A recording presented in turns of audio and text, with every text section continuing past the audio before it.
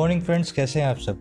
A very warm welcome to your English tutor आज जब सुबह उठ करके देखा तो चैनल ने हंड्रेड सब्सक्राइबर्स पूरे कर लिए थे। अब आप कहेंगे, इसमें क्या बड़ी बात है? पर मैं ये कहूँगा कि सोई क्यों अगर दो बच्चे भी रोज़ इन वीडियोज़ को देख करके कुछ सीख रहे हैं तो मेरे लिए बहुत खुशी की बात है। और अभी तो पूरे सो गए हैं। Lords of thanks for your support to the channel और शुरू करते हैं वर्ड बाय वर्ड पोस्टमार्टम आज के एडिटोरियल का। No more leeway which is based on RBI और बिज़नेस एडिटोरियल है। चलिए शुरू करते हैं, थोड़ा जूम कर लें। नो मोर लीवे देखिए लीवे का मतलब क्या होता है? रियायत।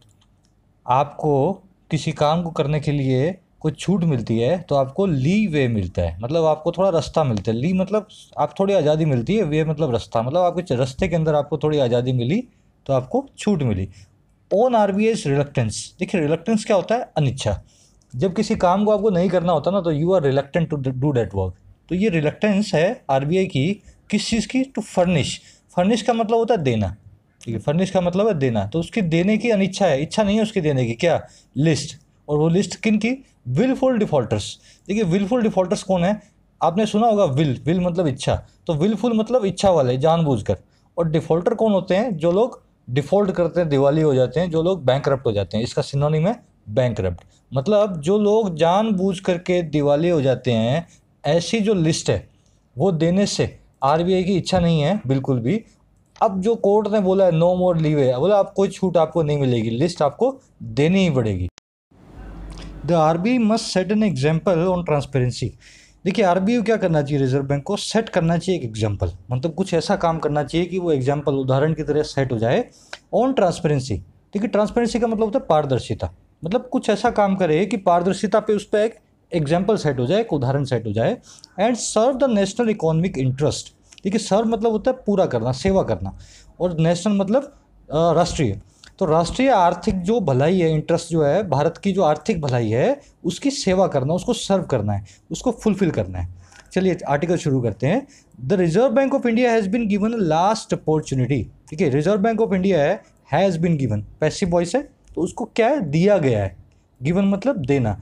क्या दिया गया है? लास्ट अपॉर्चुनिटी आखिरी मौका। By the supreme court supreme court के द्वारा to stop being in contempt of the court देखिए कंटेम्प्ट का मतलब होता है अवमानना। कंटेम्प्ट ऑफ़ द कोर्ट का मतलब है कोर्ट की अवमानना कोर्ट के आदेशों की पालना न करना। तो जो है आरबीआई उसको सुप्रीम कोर्ट ने एक आखिरी मौका दिया है कि जो आप कोर्ट की अवमानना कर रहे हो, आप उसको उसका बंद कर पाओ। मतलब मौका दिया है कि आप कोर्ट के नियमों को फिर से चालू कर पाओ। Clear and unambiguous order of 2015 दिसंबर 2015 मतलब जो दिसंबर 2015 का क्लियर साफ़ साफ़। और अनएम्बिग्यूस का मतलब भी वही होता है स्पष्ट।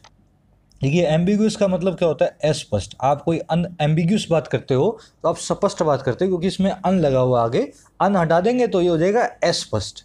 तो अनएम्बिग्यूस मतलब स्पष्ट जो उसने ऑर्डर दिया था कोर्ट ने दिसंबर 2015 के अंदर उस कोर्ट की जो ऑर्डर की अवमानना आरबीआई कर रहा था, उस ऑर्डर को ना मान करके तो अभी कोर्ट ने क्या है, उसको लास्ट अपॉर्चुनिटी दी है, उसको फिर से एक लास्ट मौका दिया है कि इस चीज़ को बंद कर सके। आगे कहता है ruling on a batch of contempt petitions देखिए बैच मतलब जत्था, और कंटेंट पटिशन क्या होती है? यही, अवमानना की याचिकाएँ अगेंस्ट आरबीआई आरबीआई के विरोध में। मतलब आरबीआई के खिलाफ ऐसी याचिकाएँ लगी हुई थी कि वो अवमानना कर रहा है कोर्ट की और उसको रूल करते हुए मतलब उस याचिका की सुनवाई करते हुए। अ टू जज बेंच दो जजों की एक बेंच बेंच हम देख चुके हैं, जजों के ग्रुप को हम कहते हैं बेंच तो जो दो जजों का जो ग्रुप था, उसने क्या किया? डायरेक्टेड इट किसको? आरबीआई को। डायरेक्ट मतलब उसने निर्देश दिया और किसको आरबीआई को? टू फर्निश फर्निश हम देख चुके हैं, देना। उसने आरबीआई को निर्देश दिया देने के लिए। क्या?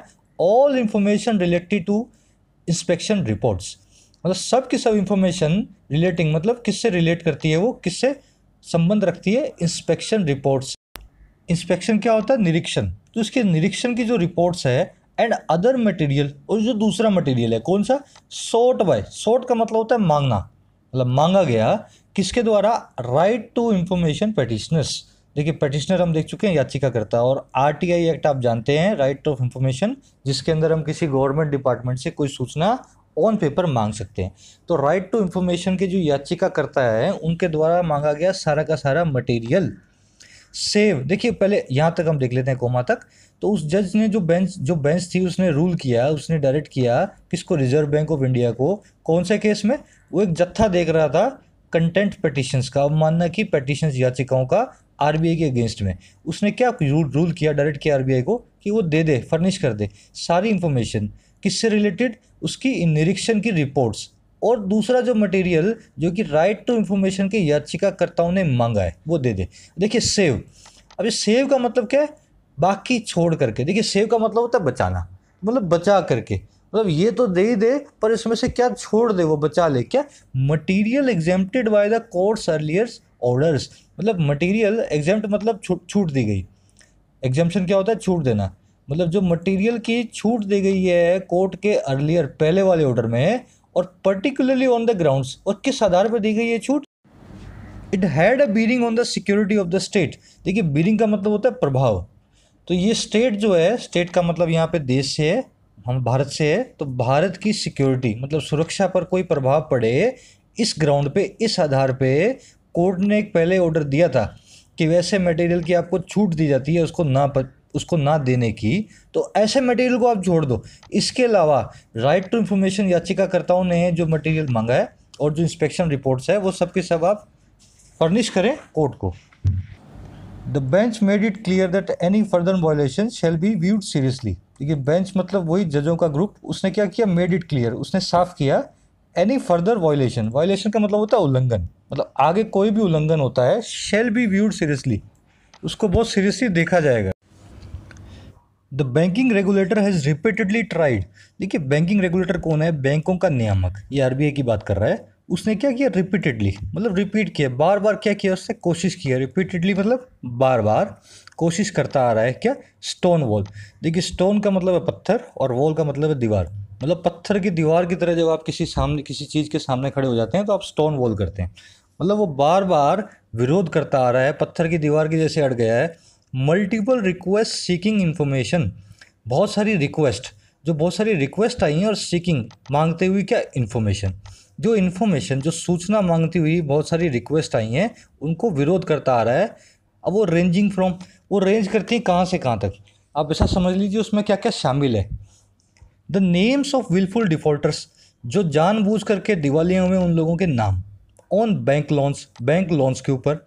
और वो कैसे हैं? Worth hundreds of crore of rupees मतलब सैकड़ों करोड़ के जो लोन है, ऐसे लोन लेने वाले लोग जो डिफ़ॉल्ट कर रहे हैं जानबूझ करके उनकी list to the bank wise breakup और साथ में क्या क्या शामिल है? बैंक वाइज ब्रेकअप मतलब इस बैंक का इतना है इस बैंक का इतना, इसको बोलेंगे bank wise breakup of mark to market losses and losses in foreign currency derivatives देखिए, दो कॉन्सेप्ट हैं यहाँ पे मार्क टू मार्केट लॉसेस और foreign currency derivatives mark to market losses होते हैं जिन लॉसेस को हर रोज़ कैलकुलेट किया जाता है। मतलब रोज़ शाम की बिज़नेस डे जब ख़त्म होता है, रोज़ शाम की मार्केट ख़त्म होती है तो उस लॉस को हम कैलकुलेट करते हैं। वीकली कैलकुलेट नहीं करते हैं मंथली कैलकुलेट नहीं करते हैं ईयरली कैलकुलेट नहीं करते हैं। रोज़ कैलकुलेट करते हैं। ऐसे लॉसेस को हम बोलते हैं मार्क टू मार्केट मतलब एक मार्क एक निशान से टू मार्केट आज की मार्केट के ख़त्म होने तक का। और लॉस हुए जो दूसरे फॉरेन करेंसी डेरिवेटिव्स देखिए फॉरेन करेंसी क्या है? डॉलर जापान की येन जो पाउंड है, जो फॉरेन करेंसी के अंदर जो व्यापार होता है डेरिवेटिव्स और कॉन्ट्रैक्ट बेसिस पे ऑप्शन एंड फ्यूचर देखिए, थोड़ा इकोनॉमिक कॉन्सेप्ट है यहाँ पे, फिर भी आप इसको ऐसा समझ लीजिए, जो फॉरेन करेंसी के अंदर डॉलर के अंदर, जो पाउंड के अंदर, जो रोज़ का व्यापार होता है, उसमें जो लॉस होता है और जो मार्क टू मार्केट लॉस और वो जो लॉस जो है, वो रोज़ जो होता है, उसका बैंक वाइज ब्रेकअप हर बैंक का वो लॉस अलग अलग बताए। आरबीआई से ऐसा मांग की गई है मल्टीपल रिक्वेस्ट के अंदर। और उन सब रिक्वेस्ट को आरबीआई जो है, वो लगातार रिपीटेडली स्टोन वॉल करता आ रहा है, उसका प्रतिकार करता आ रहा है, उनको विरोध करता आ रहा है। The central information commission to है। देखिए सेंट्रल इंफॉर्मेशन ये एजेंसी है गवर्नमेंट की, जो ये केंद्र सूचना आयोग, जो हमारे भारत सरकार का एक डिपार्टमेंट है टू उसने भी हैड इन नवंबर नवंबर के अंदर directed the then RBI governor देखिए देन का मतलब क्या है? नवंबर के अंदर जो आरबीआई गवर्नर थे, जब भी आप ऐसे समझेंगे ना then prime minister then RBI governor मतलब देन मतलब तब, उस समय जो प्राइम मिनिस्टर थे, उस समय जो आरबीआई गवर्नर थे तो उन्होंने उनको डायरेक्ट किया उस समय के आरबीआई गवर्नर को उनका नाम भी इसने बताया, उर्जित पटेल। अब क्या किया? टू शो कॉज वो ऐसा बताएँ। देखिए शो कॉज का मतलब क्या बताएँ ऐसा। कॉज मतलब कारण, और शो मतलब दिखाना। आप ऐसे इसका कारण बताएँ, क्या? Why maximum penalty should not be impose on him उसके ऊपर मैक्सिमम मतलब ज़्यादा से ज़्यादा, और पेनल्टी मतलब दंड। शुड बी इम्पोज किया जाए और इम्पोज इम्पोज मतलब लगाना।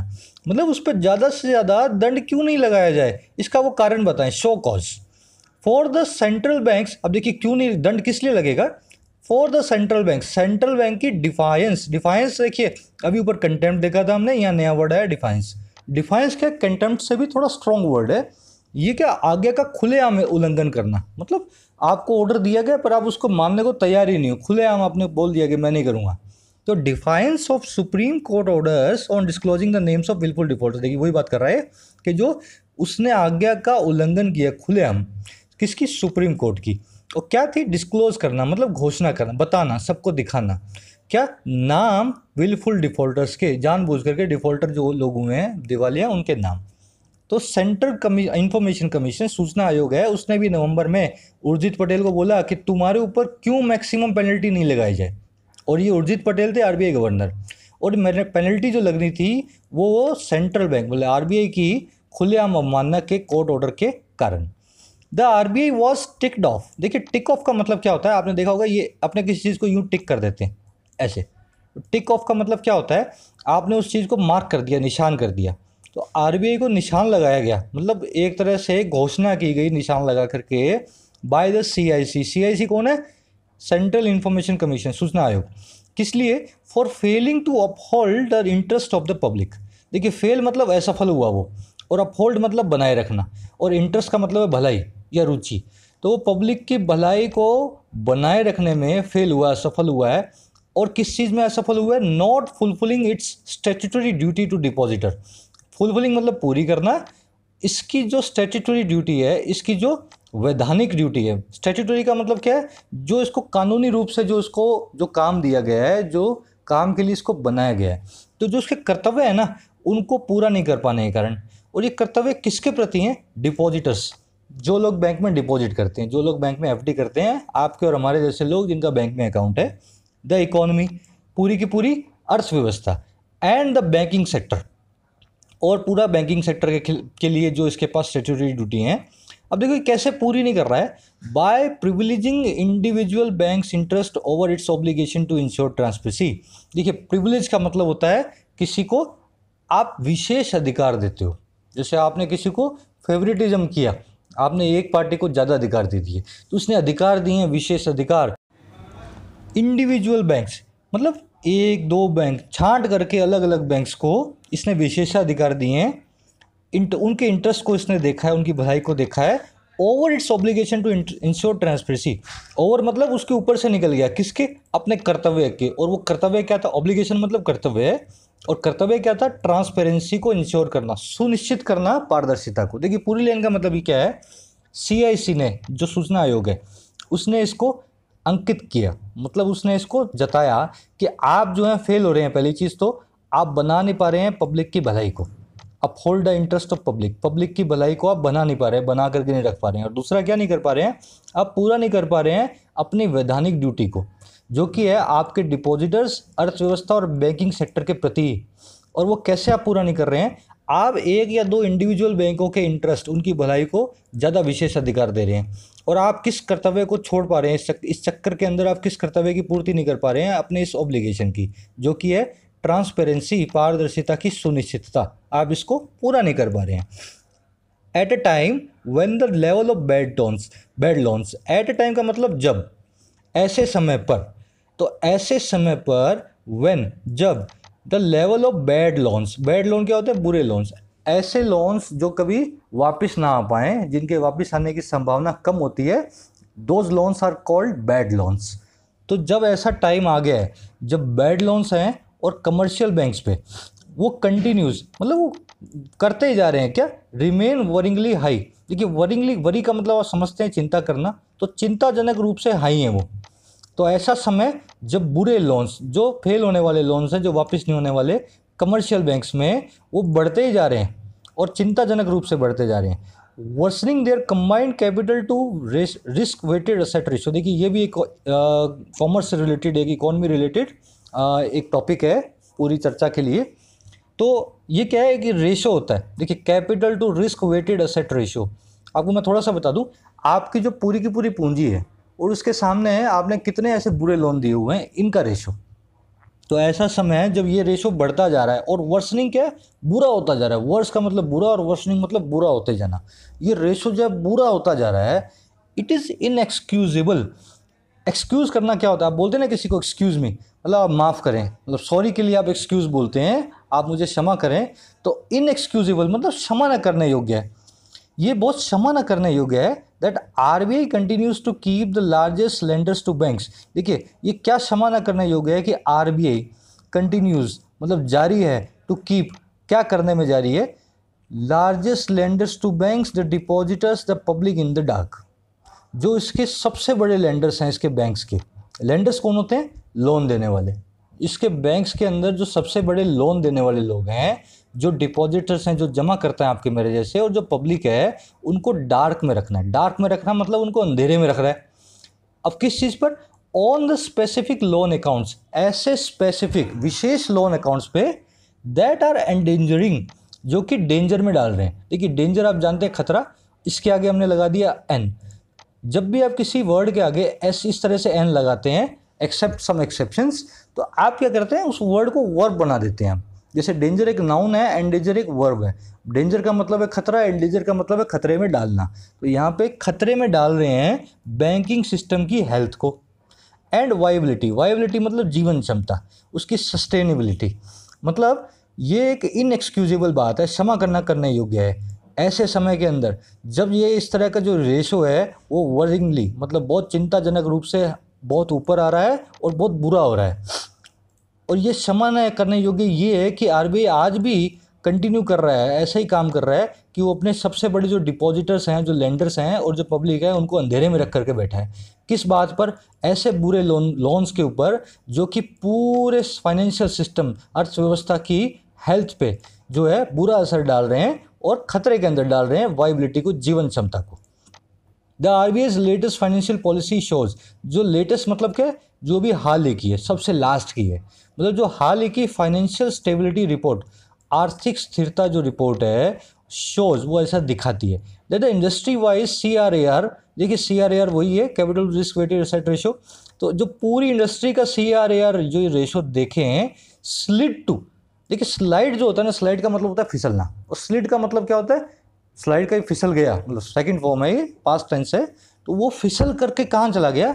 तेरह पॉइंट सात परसेंट इन सितंबर 2018 से, तेरह पॉइंट आठ परसेंट इन मार्च 2018 देखिए, ये जब बढ़ता है तो इसका मतलब ये बुरा होता है। तो तेरह पॉइंट सात से तेरह पॉइंट आठ परसेंट पे आया है ये सितंबर से मार्च के अंदर, पूरी इंडस्ट्री का हम देखें तो। With the ratio the crucial public sector banks देखिए, ये तो पूरी इंडस्ट्री का। क्रूशियल मतलब बहुत महत्वपूर्ण, और पब्लिक सेक्टर बैंक जो बहुत महत्व के पब्लिक सेक्टर बैंक है, जैसे कि एसबीआई बैंक ऑफ़ बड़ौदा उनका डिक्लाइन हुआ और ज़्यादा शार्पली ग्यारह पॉइंट तीन से ग्यारह पॉइंट सात percent over the same period मतलब इसी पीरियड के अंदर उनका जो है ग्यारह पॉइंट तीन से ग्यारह पॉइंट सात चला गया और पूरी इंडस्ट्री का देखे तो तेरह पॉइंट सात से तेरह पॉइंट आठ चला गया। इन द सेम पीरियड इसी पीरियड के अंदर। For a banking regulator that never tires of stressing देखिए टायर्स का मतलब है थकना। जो थकता है स्ट्रेसिंग स्ट्रेस करना मतलब ज़ोर देने से एंड नेवर मतलब कभी नहीं। तो जो बैंकिंग रेगुलेटर है आरबीआई की बात कर रहा है यहाँ, जो कभी नहीं थकता है ज़ोर देने से, किस चीज़ पर? नीड पर, आवश्यकता पर, ज़रूरत पर। किस पर? Greater accountability. देखिए, अकाउंटेबिलिटी क्या होती है? जवाबदेही। ज़्यादा जवाबदेही पर ज़ोर देने से जो कभी नहीं थकता है। अब देखिए, किस चीज़ पर ज़ोर देने पर जवाबदेही किस चीज़ की? From the numerous public sector banks जो सब के सब न्यूमरस मतलब कई सारे पब्लिक सेक्टर के जो बैंक्स हैं, जो सरकारी बैंक्स हैं द आर देखिए, सरकारी बैंक से अकाउंटेबिलिटी जवाब जवाबदेही पर, ज़्यादा जवाबदेही पर, जो कि ज़ोर देने से थकता नहीं है R B I the R B I उसी आर बी आई की रिलेक्टेंस रिलेक्टेंस हम देख चुके हैं, उसकी अनिच्छा। टू बी मोर ट्रांसपेरेंट इस चीज़ में ज़्यादा ट्रांसपेरेंट होने की जो अनिच्छा है इज़ प्रप्लेक्सिंग प्रप्लेक्सिंग मतलब हैरान करने वाली है। मतलब ये खुद तो थकता नहीं है, ज़ोर दे करके। इस सभी सभी बैंक को जवाब दे होना चाहिए। और वो खुद ही आज जवाब दे नहीं है। वो खुद ही आज अनिच्छुक अनिच्छुक है मोर ट्रांसपेरेंट ज़्यादा ट्रांसपेरेंट बनाने से सिस्टम को। और ये बड़ी हैरान करने वाली बात है प्रप्लेक्सिंग है मतलब हैरान, परेशान करने वाली बात है। Even its latest disclosure policy यहाँ तक कि इसकी जो लेटेस्ट वही हमने देखा लेटेस्ट मतलब सबसे हाल ही की जो डिस्क्लोजर पॉलिसी है पोस्टेड ऑन इट्स वेबसाइट इसकी वेबसाइट पे जो पोस्ट की गई है ऑन अप्रैल 12 अप्रैल 12 को। After the division bench had concluded hearings यही जो बेंच की हम बात कर रहे हैं ऊपर उसने कंक्लूड कर दिया था मतलब पूरा कर दिया था हियरिंग्स को। उसने पूरा केस की सुनवाई कर ली थी इन द कंटेम्प्ट केस इस अवमानना के केस की। एंड रिज़र्व द जजमेंट देखिए रिज़र्व जजमेंट का क्या होता है? केस पूरा हो गया जजमेंट भी हमने डिसाइड कर ली, बताएँगे आपको कल, या परसों। मतलब रिज़र्व कर रहे हैं हम जजमेंट अपनी। अब आपको हम एक या दो दिन के अंदर अपनी जजमेंट दे देंगे तो उसको बोलते हैं रिज़र्व द जजमेंट तो इसकी जजमेंट भी रिज़र्व हो गई थी। फिर भी ये जो पॉलिसी है ना, अप्रैल बारह की कंटिन्यूज टू डायरेक्ट। ये आज भी डायरेक्ट करके निर्देश दे रही है क्या? इसके डिपार्टमेंट्स को to withhold withhold का मतलब होता है बनाए रखना, अपने पास छुपाए रखना। तो अपने पास बनाए रखने की, अपने पास छुपाए रखने की इंफॉर्मेशन सूचना को। That was expressly order by the by order to be share by December 2015 orders ऐसी इंफॉर्मेशन जो कि स्पष्ट रूप से दिसंबर 15 के ऑर्डर के अंदर शेयर करने के लिए, साझा करने के लिए बताई गई थी। तो मतलब क्या है, इसकी लेटेस्ट डिस्क्लोजर पॉलिसी अप्रैल 12 को जो पोस्ट की है, और वो कब बनी? जब केस जो है उसकी सुनवाई भी हो चुकी थी और जजमेंट को रिज़र्व भी कर लिया गया था, वो आज भी इसके डिपार्टमेंट्स को क्या कह रही है कि इन्फॉर्मेशन को अपने पास ही रखो। और वो इन्फॉर्मेशन को अपने पास रखो, जो कोर्ट के ऑर्डर ने बड़े साफ़ साफ़ रूप से कहा था कि आपको पब्लिक के साथ शेयर करनी है। As the C I C aptly observe last year aptly का मतलब क्या होता है? बड़ी तीखे रूप से, बड़े स्मार्टली तीक्ष्णता से, बड़ी हाजिर जवाबी से। तो जो बड़ी तीक्ष्णता से, बड़ी स्मार्टली जो सूचना आयोग है, उसने लास्ट ईयर ऑब्ज़र्व किया, उसने देखा द सेंट्रल बैंक्स इंटेलिजेंस देखिए, ये हम वर्ड पहले भी देख चुके हैं, पहले के आर्टिकल्स में, ऐसी जिद पे अड़ जाना, कट्टर हो जाना। तो सेंट्रल बैंक जो जिद पे अड़ा है, कट्टर होकर के एंड रिपीटेड फेलियर्स बार बार फेल होता जा रहा है। रिपीटेड मतलब बार बार, और फेल मतलब असफल हो रहा है। To honour the courts order ठीक है ओनर का मतलब क्या होता है? आदर करना। तो कोर्ट के ऑर्डर का आदर आदर करने का मतलब क्या है कि उसको ऑर्डर को मानना। तो वो बार बार फेल हो रहा है कोर्ट के ऑर्डर को मानने में ऑनर करने में, कोर्ट के ऑर्डर को। अल्टीमेटली अंडरमाइंस देखिए अंडरमाइन का मतलब क्या होता है? कमज़ोर बनाना, दुर्बल बनाना। ये चीज़ जो है, कमज़ोर बना रही है, किस चीज़ को? The very rule of law जो कानून है, उसके नियम हैं, जो उसके कानून को वो कमज़ोर बना रही है। और वो कौन सा कानून है? इट सीक्स टू इन्फोर्स जो कि ये इन्फोर्स करने की, जिसकी पालना करवाने की इच्छा रखता है आरबीआई। उसी कानून को ये कमज़ोर बना रहा है। और ये क्या है? As a banking sector regulator मतलब बैंकों का नियामक बन करके एम्पावर्ड बाय पार्लियामेंट और ये पावर्स उसको जो दिया एम्पावर का मतलब क्या है? उसको पावर देना, उसको शक्ति, उसको जो शक्तियाँ प्रदान करना, ये शक्तियाँ उसको प्रदान की है पार्लियामेंट संसद ने। मतलब जो पार्लियामेंट ने इसको जो शक्तियाँ प्रदान की हैं, बैंकों का नियामक बनाया है, और इसको जो कानून को इन्फोर्स पालना करवाने के लिए अंदर जो लगाया है इसको, इसका जो कोर्ट का जो ऑर्डर जो है इसको नहीं मानता है ना, ये उसी कानून को दुर्बल बना रहा है, कमज़ोर बना रहा है। और ये क्यों बना रहा है? अपने हट पे अड़ करके, कट्टर होकर के और बार बार इस कोर्ट के ऑर्डर को ना मान करके। और ये ऑब्ज़र्व किया मतलब ये इंगित किया किसने? सूचना आयोग ने, बड़े स्मार्ट तरीके से लास्ट ईयर चलिए इसी के साथ पूरा हुआ आज का एडिटोरियल वीडियो को लाइक और चैनल को सब्सक्राइब करना ना भूलें. मुलाकात होगी कल फिर से एक एडिटोरियल के साथ. तब तक के लिए your English tutor signing out